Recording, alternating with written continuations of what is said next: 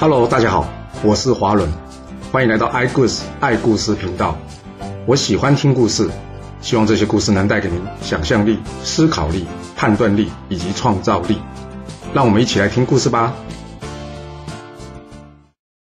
上次说到呢，这连称及管制府呢，打算推翻这个齐襄公。周庄王十一年的冬天，齐襄公呢准备出城打猎。这连妃知道这个消息之后呢，赶紧派人通知这公孙无知，而这公孙无知呢，知道之后呢，则是派人星夜送信了给这连称以及管制府。连称告诉管制府：“太好了，大事可成了！我们趁着齐襄公出城，将这都城给攻下来。”管制府则是告诉他说：“主公与外国的关系不错，若是主公逃往外国，请他们出兵相助，那我们就危险了。”我建议是这样：我们先埋伏，然后找人刺杀他，最后再让这公孙无知继位，这样才万无一失啊！你觉得管制府想的真的是万无一失吗？但不管怎么说，管制府想的呢，可是比魏国的公子职及公子燮多了一点。计划拟定好之后呢，两人准备动手。那士兵呢？大家讨厌这个好战、荒淫又没有信用的主公，所以呢，大部分的士兵呢是乐意的与这连称及管制府呢一起造反的。终于来到了打猎的这天呢，齐襄公叫人放火呢，把这树林呢给烧了起来，把这动物呢给赶出来，接着叫这士兵们呢一起上前去猎杀这些动物。突然之间，冲出了一个长得跟牛一样大的猪。哇！大家一看到，哇，怎么那么大的猪啊？大家拼命的用箭射它，但这头猪呢，却像是不要命的，直接朝着齐襄公给冲了过来。齐襄公呢，马上叫他身边的心腹孟阳，他告诉孟阳说：“哎，这头猪交给你，你有办法吗？”这孟阳呢，拉起了弓箭，瞪着这头大猪。突然之间，他惊讶的大叫道：“主公，这不是猪啊，这可是彭生将军啊！”齐桓公一听到彭生，他大声呵斥：“彭生，你还敢来见我？”结果呢，他马上抢了孟阳手中的剑呢，朝着大猪连发三箭。齐襄公不知道是太紧张还是太害怕了，就这么近的距离呢，他连射三箭，结果呢都没射中。这头大猪呢，走到他的面前，举起了双脚，像人一样的走了过来，然后呢，发出巨大的声音。这不知道算是叫声呢，还是哭声？这声音呢，非常的哀怨。这齐襄公呢，被吓得呢，当场呢跌下了车子，还跌伤了他的左脚。哎，不过说也奇怪哦，这个猪呢，并没有攻击他，只是把他一只鞋子呢给咬走了。之后，这个猪呢，就快速的逃走了，消失在众人的眼前。之后，这齐襄公呢，在另外一位心腹屠人被。与随从人员的搀扶下，才回到了车上。齐襄公因为身体很不舒服，于是下令：“算了，结束今天打猎吧，我要回到行馆了。”回去之后呢，因为他刚刚跌下车扭伤了脚，哇，这脚痛到他睡不着。他叫这个孟阳呢，扶他下床走几步看看，看看这脚伤到底怎么样了。才正准备下床呢，他就发现，哟，怎么鞋子少了一只啊？他大声的叫：“屠人费，你把这鞋子给拿来！”这屠人费一进来就说：“报告主公，你的鞋子被那只大猪给叼走了。”这齐襄公呢，被这头猪已经弄得心情超差的，真是有气无处发。现在又听到屠人费这样回答，他火大的骂这屠人费说：“这个混账东西，你负责照顾我，我的鞋子掉了，你为什么不早说啊？”接着，他拿起这皮鞭猛抽这个屠人费。把他的背后呢打得皮开肉绽，血流满地啊！之后，他把这屠人费给赶了出去。屠人费才刚刚出门，就撞见了准备行刺齐襄公的连称啊！连称一看屠人费，一把把他抓起来，问他说：“屠人费，这无道的昏君在哪？”屠人费说：“齐襄公在下这节寝室还没睡呢。”这连称呢，正准备一刀杀这齐襄公的心腹。屠人被跟他说：“哎，饶我一命吧，我可以帮你先进去看看主公的状况啊。”连城说：“哼，怎么可能？你是主公的心腹，你要帮我，你不要害我就好了。说完，这刀子一挥，就当这刀子呢快到屠伦贝的脖子之前，屠伦贝接着说：“等等等等，你看我背上的血。”连城一看，哎，怎么你衣服背后都沾满了血啊？脱下一看，哇，这屠伦贝的背后呢被打的怎么样？皮开肉绽了。屠伦贝接着说：“啊，刚刚这个昏君啊，无端痛打我一顿，我也想报仇啊。”连称一看，这伤痕不是假的，没办法这么快来骗人吧？于是他便相信了屠伦贝，说：“好，我就放你回去当内应吧。”而这屠伦贝呢，再次回到齐襄公的寝室之外，他刚好撞见这十字分鲁。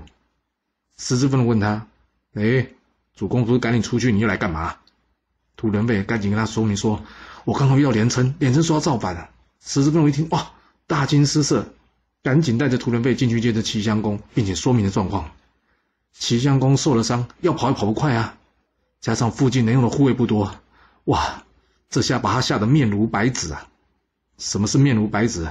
就是吓得他脸上都没血色了，脸整个白了一片。那齐襄公不知道接下来该怎么做啊！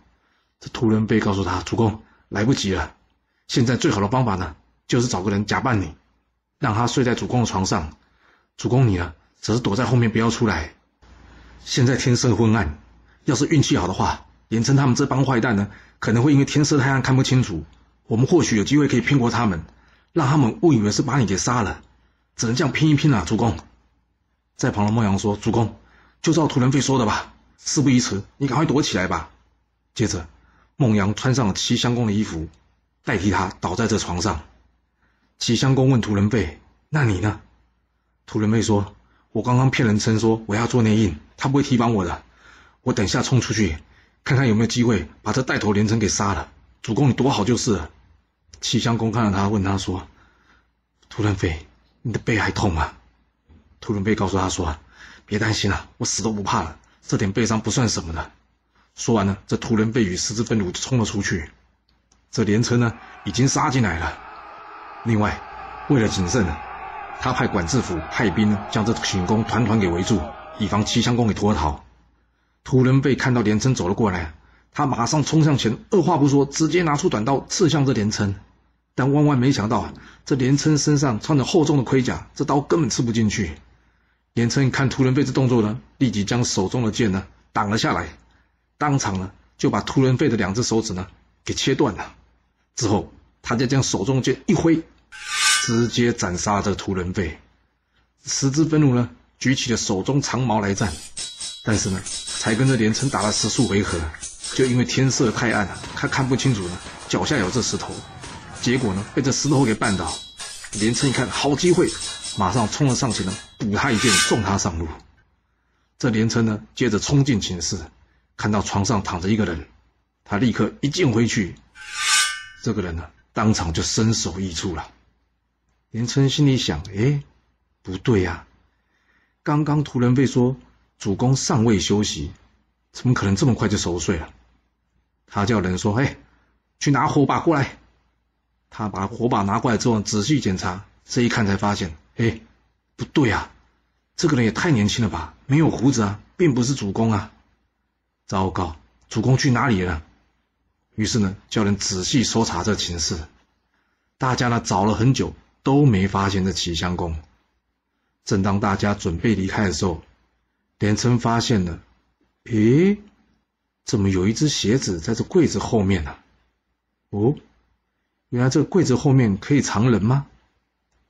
他把这柜子推开一看，看到这齐襄公呢，吓得缩在那里。他把这齐襄公呢拎到了院子，仔仔细细的叙述他的罪状之后呢，最后他以帮鲁桓公报仇为名，将这齐襄公呢砍成了好几段。杀了齐襄公之后呢，连称管制府引领大军呢攻进齐国的首都，在城中的公孙无知呢立即派兵打开城门，这齐国首都呢可以说是在完全不费吹灰之力下被两人给拿下了。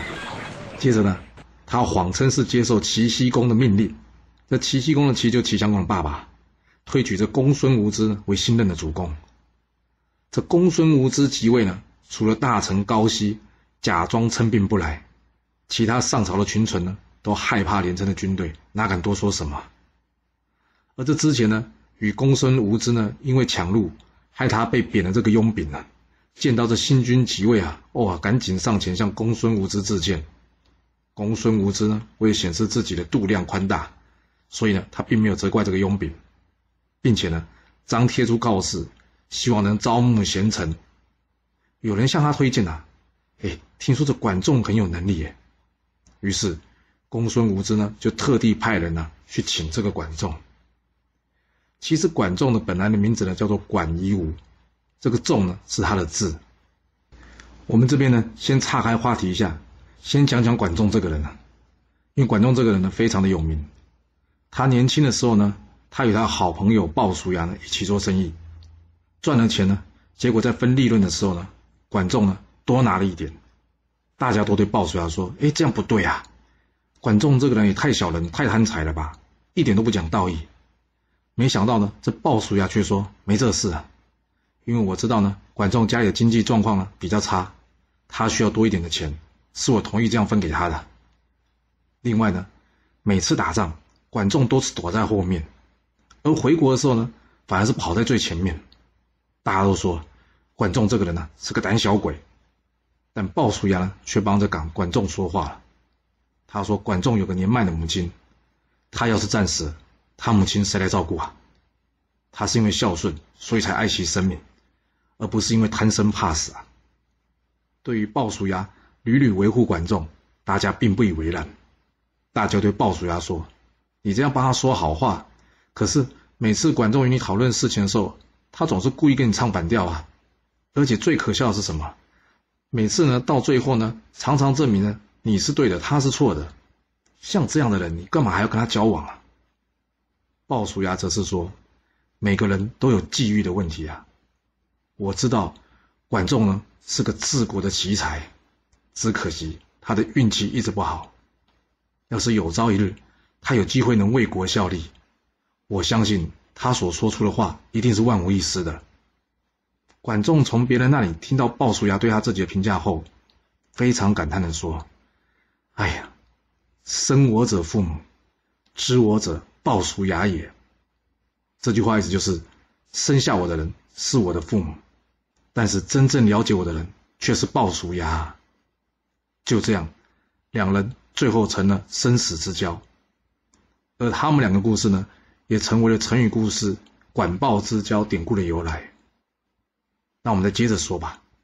在齐襄公还没有死之前呢，他有两个儿子，大儿子叫做公子纠，二儿子叫做公子小白。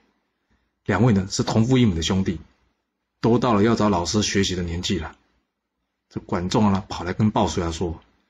我看齐襄公这两个儿子呢，将来都很有机会继承爵位。要不这样，我们各选一人去当他们老师。这将来不管谁即位呢，我们都可以互相推荐对方。鲍叔牙一想，哎，有道理啊！既然可以两边押宝，那就没有必要冒着险去押一边嘛。于是，管仲出任这公子纠的老师，而鲍叔牙呢，则是成了公子小白的老师。这齐襄公呢？爆发了乱伦事情之后呢，鲍叔牙建议这公子小白去劝劝他的父亲吧。这齐襄公一听到呢，公子小白说他乱伦，还要劝他，气得拿着鞋子丢着公子小白。他说：“你别以为你读了几天书，你就可以来教训你老爸了。”说着，把这小白呢给赶了出去。鲍叔牙告诉小白说：“哎，你父亲行为不检了，将来恐怕会遭遇横祸。我建议你呢，先到其他国家避一避。”免得将来被牵连到了。这公子小白问着鲍叔牙：“那我们要去哪一个国家躲避呢？”鲍叔牙说：“不要去大国，大的国家呢喜怒无常，心意难测。将来要是有机会送你回国，搞不好还要勒索你一番呢。我建议我们去小的国家，像是你的娘家莒国，因为他小，他就不敢对你不礼貌，也不敢勒索你。而且一旦有事的话，这举国到齐国呢，不用一天，我们可以立即回国。”比较有机动性。公子小白听完之后觉得，嗯，这话有道理，所以呢，他就跟着鲍叔牙躲到这举国。这齐襄公虽然知道了，他也没去理会他。那我们再回头说这公孙无知去请这个什么管仲嘛。公孙无知篡位之后呢，特别派人来请这管仲。管仲一听到，这公孙无知要找他出去做官，他心里想：公孙无知，你刀子都已经架他脖子上，还没感觉吗？你还要找我去，这不是害人吗？脑袋不清楚才会答应他嘞。之后呢，他与这个赵乎呢共同讨论，将这公子纠呢送到他的娘家，也就是鲁国。隔年春天二月，公孙无知即位的元年，大臣们呢。都互相来祝贺，但是呢，看到连称率领的军队在旁边呢，大家都有被威胁的感觉，心中难免不舒服。雍炳呢非常厉害，他察觉到大臣们这些细微的反应，他走上前说：“禀报主公，我呢有个朋友从鲁国来，听他说，鲁国准备帮着公子纠出兵攻打我齐国啊，请问？”还有谁听过这个消息呢？听到这个雍领说，我朋友说，让我想到一件事啊。因为这个有人说、听说，最常常的就是人家用来放话的开场白。因为是听说嘛，所以他不用负责。但是呢，又说的好像真有其事。更厉害的放话的方法是说什么？他呢真的会说出一个人名，但是你没办法求证。比方说我同事说的，啊我同事的姐姐说，我以前同学说，所以呢。要辨别人家是不是在放话呢？很重要的是怎么样？要去求证，或是针对这个话呢，进行说话的动机以及内容合理性的分析。好，我们先回来说这故事吧。大家都没听过雍允说的消息啊，于是雍允也一副就当做是马路消息，不值得探讨一样。接下来也不讨论这个话题了。但是下朝之后呢，一堆大臣呢都跑去雍允他，就问他：嘿。你早上说的事是真的吗？雍领回答说：“是真的，不是真的又怎么样呢？”东郭牙率先发难了：“哎，若是真的就好了。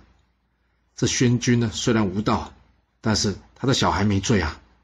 我希望他的小孩呢，能顺利回来主持国事。”在场的大臣呢，一一附和。雍敏一看这状况呢，知道，嗯，原来大家跟他想的一样，所以这个时候呢。他才敢把心里的话给说出来。他说：“我早上是故意这样说的，就是希望把大家给引过来，告诉大家我的计划，以及如何将这公子纠呢引回齐国，并且杀着公孙无知、连称，还有这帮篡位的恶徒。”东郭牙听到这话的眼睛一亮：“你有办法？”雍领接着说：“高息呢是我齐国的重臣，自从公孙无知上任以后呢，他便称病不朝。”连称这帮凶恶的歹徒呢，一直希望能得到高大人支持，来稳固他们在国内的地位。若是高大人愿意亲自邀请连称等人，我猜这连称跟管制府呢，高兴都来不及了。他们一定不会设防，会赶紧去赴约的。一旦这连称跟管制府被架开，这个时候，我们再派人假装告诉这公孙无知说有公子纠出兵的消息。这公孙无知啊，头脑简单，功夫又差。只要派出去的人当面行刺他，他已经躲不掉了。一旦这公孙无知一死，我们可以用生火来做暗号，把这城门一关，接着再设法杀了这个连称及管制府这些恶徒，这件事也就易如反掌了。东郭牙说：“高希虽然嫉恶如仇，但是要他自贬身价去请这两人吃饭，恐怕不容易啊。”嗯，不过没关系。这件事让我去跟他说说看吧，我想他一定会答应的。果然，高希听完东郭牙的话之后呢，二话不说答应他的请求。他派人去请连城跟管制服到他家中，他告诉这两个人：“哎呀，不好意思啊，之前因为生病在家，一直没有上朝，现在身体稍微好了些，想说呢，请两位到我家吃顿饭。另外呢，我也想请两位有机会的话呢，好好照顾我的后人。一切呢，见面再聊。”果然，连称跟管制府一看到高希的邀约，哇，高兴的完全不假思索啊，完全没想过这是个陷阱啊，心里想的是，啊，这公孙无这位置终于可以坐稳了。于是呢，两人开心的到了高希的家中，见了面之后，大家互相寒暄。接着，高希请家里的仆人将这大门紧闭，告诉仆人，我今天呢只招待这两位贵客。我们要不醉不归。其他人我一概不见。私底下呢，则是告诉下面的人，有任何讯息都不要来通报，直到你们看到城中起火了，才通知我，知道吗？而另外一头呢，雍领按照计划去向公孙无知报告。他告诉公孙无知说：“报告主公，这公子纠与鲁军正前往齐国，没多久就到啊。主公，我们要赶紧讨论应对的方案啊。”公孙无知听完这个话之后呢，告诉这雍领说：“哎。”那国舅跟连称在哪呢？雍领回答他说：“啊，连称跟管制府去这个高希家里吃饭了，还没回来。”接着，雍领说：“主公啊，大臣们都在大殿上等你啊，这件事需要与你讨论，并且需要你的决定啊，事不宜迟啊，赶快先出去吧。”公孙无知想想，嗯，也对啊，这事情都已经火烧眉毛了。于是呢，与雍领一同前往大殿讨论事情。才刚到这大殿之上。没想到群臣一涌而上，当场将他给刺杀了。这公孙无知呢，从他篡位到他死掉了，也才不过一个多月，就结束了他短暂的齐国国君的生命啊。而连称的妹妹连夫人一听到哇，大臣杀了公孙无知，她害怕的呢，也怎么样？怕这些大臣来杀他，结果自己结束了自己的生命。雍领杀了公孙无之后呢，立即怎么样？按照计划点起这个火。这个火呢又大又急，直冲云霄啊！高希的家臣一看到，哇，城中起火了，赶快来通知高希说：“高大人，听说外面失火了。”高希听到这话，立刻走向内。连称跟管制府觉得很怪，嘿，怎么回事？外面失火，应该是去外面看呢，怎么往里面走呢？正准备上前问这高希呢，没想到呢，在一旁突然间有许多士兵一涌而上。将这连城及管制府怎么样砍成数段，而两人的随行人员呢也很倒霉，无一幸免，全部被杀了。接着呢，雍领率领着众大臣们来见高希，大家拿着连城及管制府呢的人头来作为祭品，重新将这七襄公入殿。另外，经过讨论，大家一致决定，赶紧派人前往鲁国去请这公子纠回国即位。鲁国这边呢？鲁庄公一听到哦，齐国要来迎接公子纠啊，他非常开心，他立刻准备呢要将这公子纠送回这个齐国。但这时呢，在一旁的师伯却说：“主公，齐国在我鲁国的旁边，要是齐国强，则我鲁国则会变弱；若是齐国弱呢，则我鲁国则会变强了。我觉得这件事不用急，我们可以先观察一下。”不过，这到底该不该送这公子纠回国啊？这问题真是让鲁庄公伤透脑筋了。为什么？因为他的大臣师伯敬他不要，但他的母亲文姜呢，也就是这齐襄公妹妹啊，却来找他了。他问这鲁庄公啊：“哎，你知道公孙无知杀了你舅舅啊？现在齐国大臣们已经帮你报仇了，人家派人来营救这公子纠，你为什么要阻拦呢？我跟你说，你马上派人送这公子纠回国，你知道吗？”这鲁庄公一想，哎呦，大臣就建议不要送他回去，那你又来这样逼我。但是文姜呢，一直跟他讲说不行，一定要帮你这个舅舅报仇，赶快送这公子就回去吧。鲁庄公实在熬不过他母亲的请求，最后呢，只好不采用师伯的建议，亲自领兵车三百乘，并且以这个曹沫、秦子两子为将，一行人呢浩浩荡荡的护送着公子纠回国。那管仲当然也在这群人随行的队伍之间呢。所谓人无远虑，必有近忧啊。虽然公子纠有鲁国这三百乘的兵车护送回国，但是管仲知道还有另外一个继承人啊，就是公子小白。而这公子小白人在举国，不是他也知道公孙无知被杀的消息呢。这公子小白从举国回到齐国路上只有一天的路程啊，他是很有可能在最短的时间赶回到齐国的。为了确保这公子纠的安全即位呢，所以他决定了必须先阻止这公子小白回国。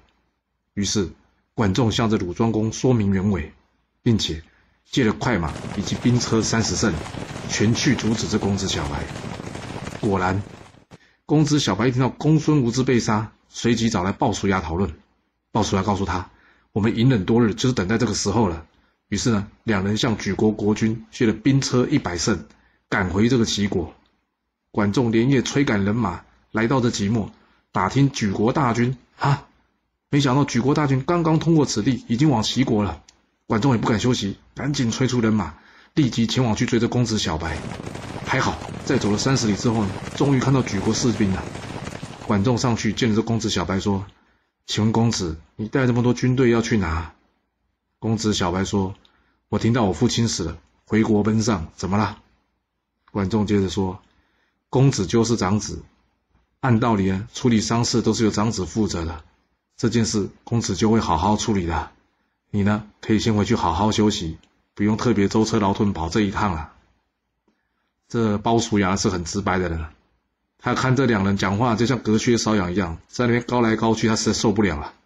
于是呢，他直接上前对管仲说：“我们两个都希望自己的主公成为国君，现在我们各为其主，你也不用劝了，我们是不会折返的，先回去吧。”鲍叔牙说这话说的很坚决哦，加上旁边举国的士兵呢，个个横眉竖眼的。管仲心里想：“哇，这要打起来没胜算呢。”于是呢，管仲假装接受了鲍叔牙的建议呢。转身离开了。管仲一离开呢，鲍叔牙这边呢，大家才放下了戒备。但万万没想到啊，就在这个时候呢，管仲突然之间回头弯弓搭箭，瞄准这公子小白，一箭射了过来。这箭呢，正中公子小白的要害，小白啊，大声一叫，口吐鲜血，就倒在车上。在旁的鲍叔牙赶紧冲上前。而一旁公子小白的随从呢，边哭边喊叫道：“不好啦，不好啦！快来人，快来人救主公啊！”管仲趁乱呢，驾着马飞奔逃离现场。虽然有些距离，他实在看不清楚公子小白是不是真的死了，但是他很自信自己的剑法，加上看到旁边的人哭得呼天抢地的，不像演戏，他心里想：这公子小白必定命丧于此啊！哎，这公子纠真是有福之人呐，该他即位成为齐国的国君啊！回去之后，管仲向公子纠及鲁庄公报告此事，大家听完之后心情大好啊！这唯一的绊脚石都铲除了，那么就可以安心前往齐国，不用急着赶路了。这公子小白就这么死了吗？嘿，有时候天意还真的不是我们能猜到的。这管仲箭法虽然神准，但他万万没想到，这箭呢虽然射中了公子小白的要害，不过呢。刚好公子小白身上呢有一个金属的带钩，而这箭呢正好不偏不倚的射到这带钩上面。公子小白呢知道管仲是个神射手，他怕管仲呢再补他一箭呢，所以灵机应变，当场呢咬破舌头了一点点的，让这嘴巴里面的流出鲜血。而在一旁的随从哪里知道啊？看到公子小白嘴巴流出血来，大家吓得要死，当场呼天抢地啊，因为真的以为他出事了。谁会想到公子小白有这一手啊？等到管仲走远之后呢，这公子小白才敢起身跟大家说：“没事没事啊，我没事。”哇，这公子小白的眼镜惊人呐，连这鲍叔牙都被他骗过了。不过这鲍叔牙等他情绪稳定下来之后，告诉公子小白说：“嗯，管仲是个谨慎的人，我担心管仲可能还会再回来。”于是他建议公子小白呢更换服装，然后大家呢用最快的速度怎么样赶回齐国。来到了齐国之后呢，鲍叔牙先请公子小白在城外等候，他自己呢，则是亲自进城，准备来说服众大臣，让他们同意公子小白回国。怎么会这样呢？大家原先是打算请公子纠回来的，结果怎么会是公子小白先到了呢？这鲍叔牙要用什么方式来说服众大臣呢？还是众大臣根本不会让公子小白回国呢？这个故事会如何的发展呢？我们要到下次才能跟各位说喽。好了，今天就先说到这。若喜欢我的故事，记得动动您的手指，给我五星评价，或是追踪、订阅以及分享哦。当然，也欢迎您留言分享你对这一集的想法，或是你也可以请我喝一杯咖啡或是饮料，让我有持续创作的动力。其实历史就是顶层阶级的生活记录。了解他们的思考方式以及作业模式，才有机会改变您的未来。谢谢您来听我说故事，我们下次再见喽。